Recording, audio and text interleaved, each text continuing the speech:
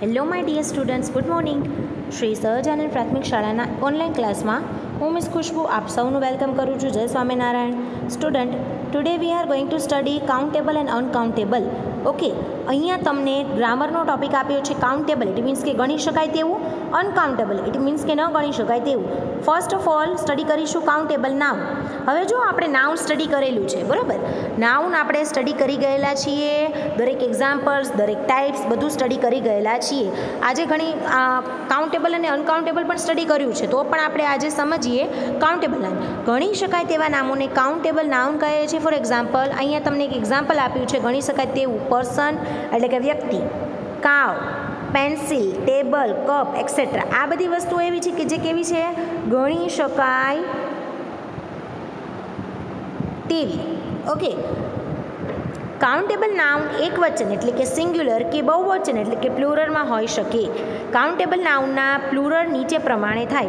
Countable ગણી શકાય એવા નામ જે તમને હોય, એના બહુવચન કેવી રીતે થાય? જેમ કે બર્ડ સામાન્ય રીતે શબ્દની પાછળ એસ લગાડીને બહુવચન થાય પ્લુરલ થાય, જેમ કે, હવે મિત્રો જુઓ મોસ્ટલી વિદ્યાર્થીઓ જેમ કે બર્ડ તો અહીંયા બર્ડ્સ થયું ઓરેન્જ તો અહીંયા ઓરેન્જીસ ફ્લાવર તો ફ્લાવર્સ ડે તો ડેઝ દરેક વિદ્યાર્થીઓને એમ લાગે છે કે એક શબ્દ આપ્યો છે એની બાજુમાં એસ લગાડી દો એટલે બહુ વચન થઈ ગયું. હા, તમારી વાત સાચી.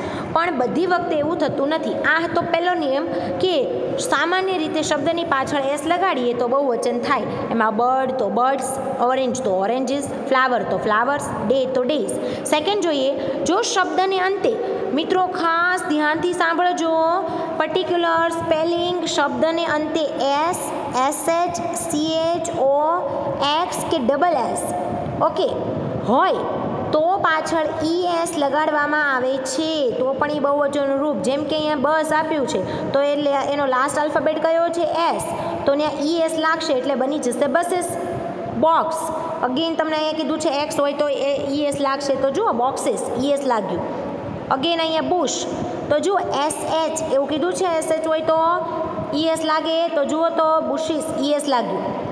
મેંગો અગેન અહીંયા કીધું છે, અ હોય તો શું લાગશે? ES S mangoes bench again C H C H હોય તો ઈએસ લાગશે એના બહુવચનમાં. ડ્રેસ ઓકે ડબલ એસ જો અહીંયા કીધું છે ડબલ એસ હોય તો ડ્રેસીસ ઈ એસ લાગશે. તો આવા લોટ્સ ઓફ એક્ઝામ્પલ પણ. આપણે જો આવો શબ્દ હોય તો એમાં બસ.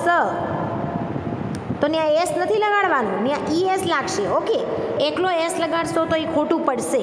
નંબર થ્રી શબ્દને અંતે વાય હોય તો વાય નીકળીને આઈ ઈ એસ લાગે છે. અગેન આ બહુ સરસ વાત કરી છે કે શબ્દને અંતે, સ્પેલિંગને અંતે વાય હોય તો નીકળીને શું લાગશે? I E S.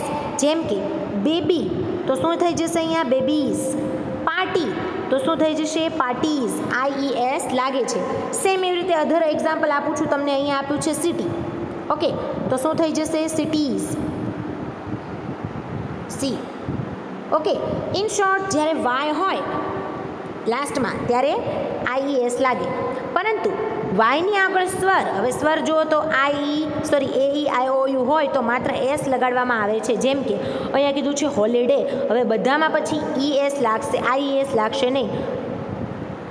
સ્વરની સોરી વાયની આગળ શું હોય સ્વર તો અહીંયા જો તો હોલિડે ડેના સ્પેલિંગમાં એ છે એ સ્વર છે, તો અહીંયા હોલિડેઝ એસ લાગશે. મંકી મંકીના સ્પેલિંગમાં વાયની આગળ ઈ છે, સ્વર છે, તો અહીંયા મંકીઝ ઓકે માત્ર એસ લાગશે. નંબર ફોર શબ્દને અંતે એફ કે એફ ઈ હોય, તો તે નીકળી જઈને વી ઈ એસ લાગે છે. જેમ કે વાઇફ તો વાઇવ્સ શેલ્ફ તો શેલ્વ્સ નાઇફ તો નાઇવ્સ થીફ તો થાઇવ્સ નંબર ટુ અનકાઉન્ટેબલ જો આ બધા કાઉન્ટેબલ છે અને એના શબ્દ પણ ફરી જાય છે. હવે અનકાઉન્ટેબલ એટલે કે ન ગણી શકાય તેવા નામને અનકાઉન્ટેબલ કહે છે. So for example milk salt money music hair news etcetera આ દરેક જે તમને અહીં આપ્યા છે ને એક્ઝામ્પલ એ અનકાઉન્ટેબલના ન ગણી શકાય તેવા નામ છે. મિલ્ક દૂધ ગણી ન શકાય. મીઠું ગણી ન શકાય. એક મીઠું, બે મીઠું એમ ન બોલતા આપણે. ઓકે અનકાઉન્ટેબલ નામનું ક્યારેય પ્લુરલ થતું નથી. ન ગણી શકાય તેવા નામનું ક્યારેય બહુવચન થતું નથી. જેમ કે, હેર તો વાળ તો વાળ એટલે વાળ જ, હેર એટલે હેર તો એને હેર્સ ન કહેવાય. ક્રિકેટ, તો ક્રિકેટને ક્રિકેટ્સ ન કહેવાય. ઓકે. સેમ અહીંયા કીધું છે, આઈસ્ક્રીમ ગોલ્ડ, પેપર વગેરે અનકાઉન્ટેબલ નાઉન છે. પરંતુ, cup of ice cream, ornaments sorry ornaments of gold piece of cop piece of paper વગેરે કાઉન્ટેબલ નાઉન છે, જેમ કે કપ ઓફ આઈસ્ક્રીમ તો એક કપ બે કપ એમ બોલીએ છીએ. ઓકે પીસ ઓફ પેપર એક ટુકડો, બે ટુકડા. ઉપરાંત કેક સોપ બિસ્કિટ વગેરે કાઉન્ટેબલ તથા અનકાઉન્ટેબલ એમ બંને રીતે ગણી શકાય. આવા વધારાના એક્ઝામ્પલ છે કે જે બંનેમાં આવે. હવે કીધું છે હાઉ મેની અને હાઉ મચ હાઉ મેની એટલે કેટલું, કેટલી, કેટલા? અને હાઉ મચ એટલે એ આપણે આગળ ભણીશું. અત્યારે હાઉ મેનીનું સમજીએ? હાઉ મેની એટલે કેટલું, કેટલી, કેટલા? ગણી શકાય તેવી વસ્તુનું પ્રમાણ જાણવા હાઉ મેનીથી પ્રશ્ન પૂછવામાં આવે છે. ગણી શકાય એવું. For example person animal things etcetera how મેનીથી પૂછેલા પ્રશ્નના જવાબ પ્લુરર નામ એટલે કે બહુવચન નામમાં મળે છે તથા નિશ્ચિત સંખ્યામાં મળે છે. For example how many girls are there in the class વર્ગમાં કેટલી છોકરીઓ છે? There are twenty girls in the class વર્ગમાં વીસ છોકરીઓ છે. હાઉ મેનીથી પૂછવામાં આવેલા પ્રશ્નના જવાબમાં સંખ્યા નિશ્ચિત હોય તો ડેફિનેટ નંબર ઓકે એટલે ડેફિનેટ નંબર એટલે કેવા તો આપણે જેને બેકી સંખ્યા કહીએ છીએ ટુ ફોર એટમાં જવાબ મળે.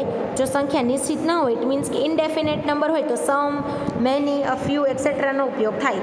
સમ એટલે કેટલા મેની એટલે ઘણા અ ફ્યુ એટલે થોડા. એક્ઝામ્પલ આપ્યું છે how many brothers are you તમે કેટલા ભાઈઓ છો? વી આર ફોર બ્રધર્સ અમે ચાર ભાઈઓ છીએ. નંબર ટુ કીધું છે how many people are there in the party પાર્ટીમાં કેટલા વ્યક્તિઓ છે?